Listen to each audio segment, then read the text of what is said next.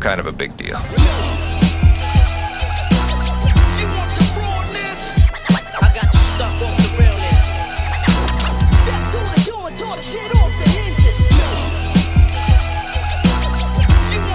An Yves Saint Laurent flanker? I've never heard of those words put together in the same sentence. It's unbelievable. Well, let's roll my motherfucking music so I can put you onto this flanker because this has never happened before in the history of Yves Saint Laurent fragrances.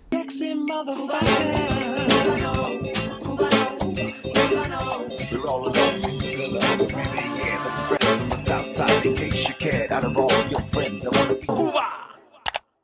morning, my beautiful peoples. You know who it is. Is your boy, C to the U to the B to the A. The fragrance is by Yves Saint Laurent and it's from the Y line. What confuses me is, is that it says Y live, but it could also be interpreted as Y live, which is slightly morbid, slightly suicidal, and why my therapist needs to see me twice a week. There's a couple of things that confuse me about this fragrance just from the box alone.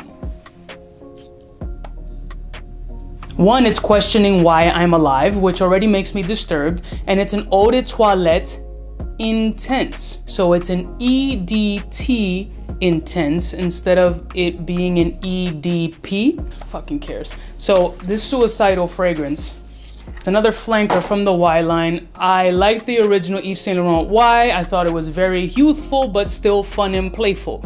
The EDP version came out. That is definitely my favorite. It was just a little bit more mature. It was like mid 20s, sexy, still party animal, still clubby, but still had a nice vibe that I can wear it very versatilely. I think it's just a very nice fragrance and definitely one of my favorites from that line. So I figured, why not try the Live? I'm not gonna call it live, we're gonna call it live because it's questioning my morality. Truth be told, once I smelled this shit from the cap, the first thing that came to my head was Paco Rabanne Invictus Aqua. It's straight up such a simple composition of YSL Y, EDT, and Paco Rabanne Invictus Aqua. There's not a lot of depth or creativity to this fragrance at all. Now, am I automatically gonna shit on it just because of that? No, because there's a lot of people who just don't give a flying. I just literally whiff this shit in my eye. Yeah, it really smells like fucking Invictus slash Hawas mixed with Yves Saint Laurent Y. Definitely young. Summertime vibes can potentially smell amazing in the hot weather, but if you have Y, Invictus Aqua,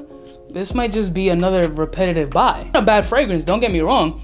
I'm just less than impressed. Very playful, very fun, flirty, bubbly. I don't know, I'm getting a little bit of a 1 million vibe it's fun, it's playful, but it's less than like a P. I mean, it's just not worth retail at all. I mean, what is really? I mean, it's not bad, but am I really gonna reach for this shit? I doubt it. Again, it's just less than impressive. I'm not gonna make this video super complicated on, on something it really doesn't have to be.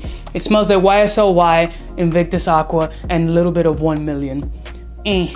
I think if you're gonna put a price tag on this fragrance, I would throw it at a 40 buck price tag and be perfectly comfortable. Again, it's not a bad fragrance. It doesn't smell bad. It's not off putting. It has a sex appeal. It has a mass appealing quality. It has all those things you may want from a fragrance. But if you have the Y line already, is it a redundant buy? Eh, that's it. I'm not gonna make this shit fucking long and drawn out. I don't got the fucking energy to do it. It's just, eh. You think why live? I should be asking more like, why did you make this shit? I love y'all motherfuckers from the heart. I'll see y'all bitches next time. You know who it is. It's the biggest in the game, keeping it short, simple, to the point. Let's not complicate our lives in 2020. Shit's been rough. Let's make it more simple. Like this fragrance. Smooches.